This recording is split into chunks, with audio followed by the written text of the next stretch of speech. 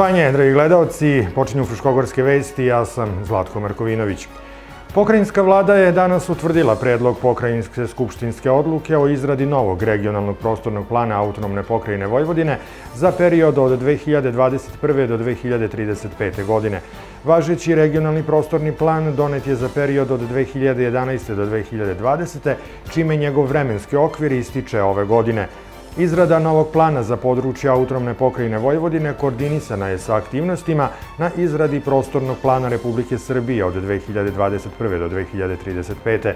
Time će regionalni prostorni plan dati rešenja za dugoročne osnove organizacije, uređenja, korišćenja i zaštite prostora autonomne pokrajine Vojvodine usaglašena sa novim republičkim prostornim planom. Uporedo sa izradom regionalnog prostornog plana, biće izrađena i strateška procena njegovog uticaja na životnu sredinu. Na sednici je utvrđen tekst sporazuma o saradnji pokrajinske vlade sa vladom Republike Srpske na realizaciji zajedničkih projekata i to u oblasti visokog obrazovanja i naučno-istraživačke delatnosti, posebno u pravcu njihove internacionalizacije, digitalizacije i povezivanja sa inovativnim rešenjima u privredi. Sad se selimo i u Rumu. Na današnjoj sednici opštinskog veća u Rumi većnici su dali saglasnost na izmenu plana javnih nabavki opštinske uprave opština Ruma za ovu godinu. Pored 120 miliona dinara koje je opština Ruma obezbedila za rekonstrukciju ulica 15. maj i 15. avgust, u plan su uvrštena i sredstva u iznosu od 200 miliona dinara kojim će projekat sufinansirati Vojvodina. Izglasan je predlog programa kontrole kvaliteta vazduha na teritoriji opštine Ruma za ovu godinu. Uzimanje uzoraka u naseljenom mestu Ruma će se vršiti na tri merna mesta, a merenje će se obavljati četiri puta godišnje po 14 dana 24-časovni uzorci nakon sprovedenog postupka javne nabavke i nakon saglasnosti Ministarstva za zaštitu životne sredine. E, dodatno merno mesto to je naselje Tivol, e, merno mesto kod stručne poljoprivredne škole, Dodatno će se meriti koncentracija suspendovanih čestica, ozon. To su i ovi elementi koji su u prethodnom periodu e, uzrokovali da vazduh na teritoriji Republike Srbije bude zagađen. E, mi radimo, mi radimo redovno monitoring svake godine i mogu da kažem otprilike u decembru iskače čađe, što je posledica sagorevanja u individualnim ložištima i od saobraćaja, pokretnih izvora. Preko 30 kapitalnih projekata biće realizovano u tekućoj godini na teritoriji opštine Stara Pazova. Kako su istakli predstavnici lokalne samouprave, pored ravnomernog ulaganja u svako od 10 naselja, Posebna pažnja daje se i opremanju centralne radne zone u Staroj Pazovi, izgradnji kanalizacije upotrebljenih voda sa kućnim priključcima u više od 10 ulica u Novoj Pazovi, zatim izgradnji trenažne hale i pripremi projekta za izgradnju parka u tom naselju, najvažnije su investicije na kojima se trenutno radi ili će se raditi u ovoj godini. U toku je izgradnja osnovne škole u Novim Banovcima i izgradnja sportske hale u Starim Banovcima. Ulagaće se u seoske sredine, pa tako Vojčane čeka nastavak izgradnje vodovodne mreže, izgradnja osnovne škole u Belegišu, rehabilitacija ulica u Surduku i Krnješevcima i gradnja Doma kulture u Golubincima. A radna zona u Inđiji se popunjava i kako su istakli predstavnici opštine Inđija, ostalo je još malo parcela koje mogu da ponude potencijalnim investitorima. Svakako, najveća je površina koju će zauzeti japanski Toyo Tires, proizvođač automobilskih guma. Podsjetimo, ovaj investitor već u aprilu trebalo bi da potpiše ugovor o kupoprodaji zemljišta, nakon čega će izvanično biti realizovana pomenuta investicija. Imamo još dve parcele od 97 hektara industrijske zone, 60 je e, namenjeno Toyota Ovo je ostali deo, znači od 37 hektara, ostala su neka 5 hektara ukupno. Imamo jednu parcelu od neka 2,5 hektara i još jednu od 3 hektara, dakle to je 5 hektara ukupno kojih nije prodato i to imamo na raspolaganju koje možemo da ponudimo. To nisu velike površine kada pričamo o ovaj, novim investicijama nekog velikog nivoa, ali to su površine koje su više nego dovoljne za ove, da kažemo, širenje porodičnih i manjih preduzeća i kompanija, dakle to su površine kojima od 50 do 100 ljudi bez problema može da da pronađe zaposlenje, ali svakako nisu mega projekti kao što je, kao što je Toyo Tires. Radovi na kružnoj raskrsnici Radinačka petlja u Sremskoj Mitrovici privode se kraju. Kada vremenski uslovi to dozvole, počeće se sa asfaltiranjem završnog sloja asfalta.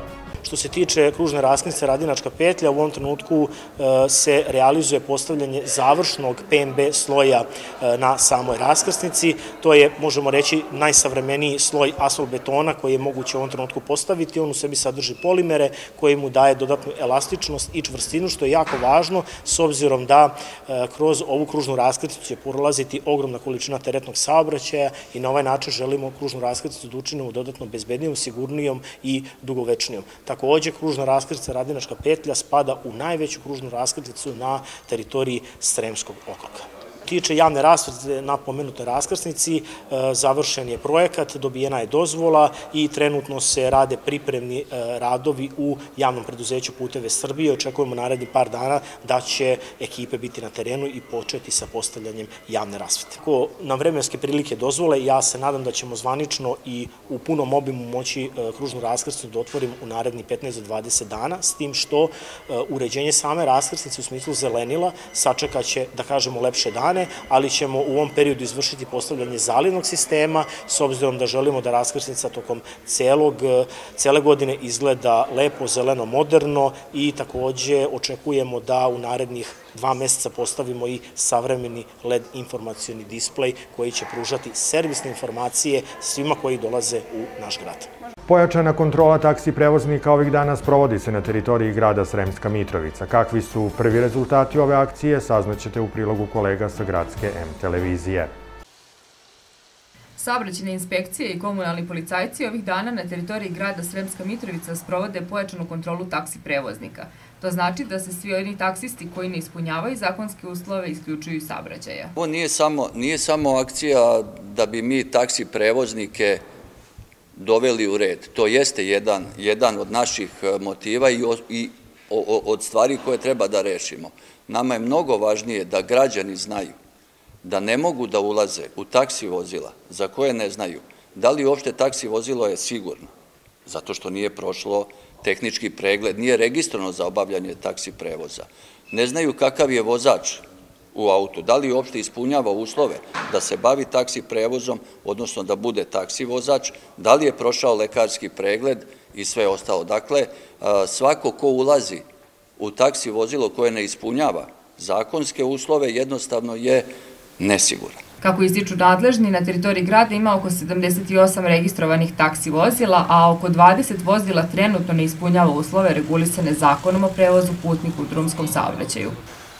Kontrola se vrši na terenu i proveravaju uslovi koje prevoznici moraju ispunjavati da bi vršili delatnost taksi prevoza putnika. Uslove koje moraju da ispunjavaju prevoznici su uslovi u pogledu sedišta, taksi vozača, taksi vozila i poslovnog ugleda u skladu sa novim zakonom. Provera se vrši na taksi vozilima kojima se obavlja taksi prevoz i ta vozila moraju da ispunjavaju određene uslove, odnosno da svako taksi vozilo mora biti prijavljeno i pregledano kod nadležne gradske uprave i na osnovu te prijeve mora biti propisno obeleženo kao vozilo kojim se vrši taksi prevoz na putu. Između ostalog, svako taksi vozilo na registarskim tablicama na zadnje dve pozicije mora da ima slovnu oznaku latiničnu TX. U toku dosadašnje provere uglavnom je vršena kontrola vozila koja nemaju TX oznaku i u skladu sa zakonskim odredbama članom 149 je predviđeno isključivanje vozila i saobraćaja oduzimanja saobraćene dozvole registarskih tablica u prvom slučaju prevoznika u trajanju od 10 dana, a u prilikom ponovnog isključenja u trajanju od 30 dana. U prethodna dva dana i saobraćaj isključeno takva tri putnička vozila jednostavno koja nisu bila propisno obeležena, nisu imala na, zadnj, na registarskim tablicama slovne oznake TX, znači prekršili su uslov u pogledu taksi vozila kojima se vrši prevoz i zbog toga su isključeni saobraćaj. Prema gradskoj odluci, svako registrovano taksi vozilo mora da prođe rigorozan tehnički pregled i da posjeduje tablice koje se završavaju sa slovima TX. Ukoliko ne ispunjavaju ove uslove, biće isključeni iz saobraćaja i kažnjeni sa 75.000 dinara. Poljoprivredne teme. Već po tradiciji poljoprivredni proizvođači iz opštine Inđija imali su priliku da se upoznaju sa pionirovim hibridima kukuruza i suncokreta na prezentaciji koja je održana sinoć. Pionir nudi više od 20 hibrida kukuruza i suncokreta koji su od prošle godine u ponudi kompanije Korteva. Poljoprivrednicima iz opštine Inđija predstavljeni su i hibridi na koje su već navikli, ali i novi koje treba što pre uvesti u proizvodnju. Prezentacija pionirovih semena kukuruza i suncokreta u Inđijskoj opštini bila je prilika da se tamošnji paori upoznaju sa svim prednostima hibrida koji su jedni od najtraženijih u našoj zemlji. Nema poljoprivrednika koji bar jednom nije imao ove hibride na svojim njivama, a da nije imao rekordan prinos. Inđijski paori su spremni da nove hibride uvode u setvu, ali svako od njih ima i nekog svog favorita. Uglavnom sem 95-37. On mi se pokazao odlično, mala je vlaga, tako da njega najviše sejem, a ovo je ovako eksperimentalno, ubacim po neki još da isprobam najviše radi vlage. Ja svake godine ubacim 4-5 novih hibrida, a posebno uradim jedan ogled za sebe, znači podelim 3-4 njive po dva hibrida različita da bih video tačno prinos, jer ovi mini ogledi to nije baš toliko sigurno, znate, dešava se, nemam pojma, bude jedna brazda u razoru, do komšije lošije ili nešto i onda to ne bude realno stanje. Miloš Matić, regionalni direktor Korteve za Srem i Mač, upoznao je paore sa karakteristikama svih hibrida, kako onih na koje su paori već navikli, tako i novih za koje već postoji interesovanje. Kako je rekao, pioniri ove godine ima hibride svih FAO grupa zrenja, od najranijih iz FAO grupe 200 do FAO grupe 700. Mi našim poljoprivrednim proizvođačima nudimo naše hibride kukuruza i suncogreta. Tu su pored nekih standardnih hibrida koji su oni sejali uvek i neki novi hibridi, tako da drago nam je da dođu i da ih upoznamo sa novim proizvodima koje nudimo. Naši poljoprivredni proizvođači uvek mogu odabrati traženi hibrid. Tu su, na primjer, i dobro poznati hibridi Aqua Max. To su hibridi najnovije genetike, hibridi koji u nekim sušnim uslovima bolje iskoriste dostupnu vodene površine, tako da Tu pomenuo bih hibride poput 9911 koji je najprodavaniji hibrid u državi, iz grupe 400 spomenuo bih hibride 0216, 0412 iz grupe 500, tako da široku paletu hibrida imamo, tako da imamo za hibride za sve tipove zemljišta i sve namene. Na prezentaciji je rečeno da je ove godine izuzetno dobra ponuda i hibrida suncokreta koji zauzima sve više obradivih površina u Sremu. Ove sezone prodaje semena je počela ranije nego obično, još u decembru prošle godine. Hibridi kukuruza i suncokreta već se nalaze u prodaji u svim apotekama kako bi paori na vreme nabavili željeni hibrid. Osnivač fondacije Tijana Jurić Igor Jurić održao je juče u Zmajevoj školi u Rumi predavanje za odrasle o bezbednosti dece na internetu i trgovini ljudima. Pre ovog predavanja Igor Jurić je o istoj temi govorio i učenicima viših razreda te rumske škole.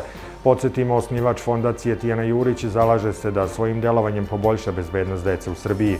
Od osnivanja 2015. godine fondacija je pokrenula nekoliko edukativnih projekata koje sprovodi tokom cele školske godine širom Srbije, a Tijana Klik i Ukradena bezbednost su jedni od njih. Prikazivanjem ruskog filma Sluga sa Milošem Bikovićem u glavnoj ulozi 5. i 6. februara u Staroj Pazovi počinje nova bioskopska sezona. Ovu komediju će moći da pogleda i publika u Novoj Pazovi 7. i 8. a u Starim Banovcima 9. februara. U toku ovog meseca biće odigrane dve profesionalne predstave i to cijelo telo Tume Boli sa legendarnom Svetlanom Bojković u glavnoj ulozi, koja će biti odigrana 10. februara u pozorišnoj sali u Staroj Pazovi, a 26. u sali Doma kulture u Novoj Pazovi biće izvedena komedija Raj na zemlji sa Anjom Miti i Stefanom Buzurovićem. Obe predstave počinju u 20 časova, a karte su već u prodaji. I ostalo je još, poštovani gledalci, da vidimo podatke o vremenu.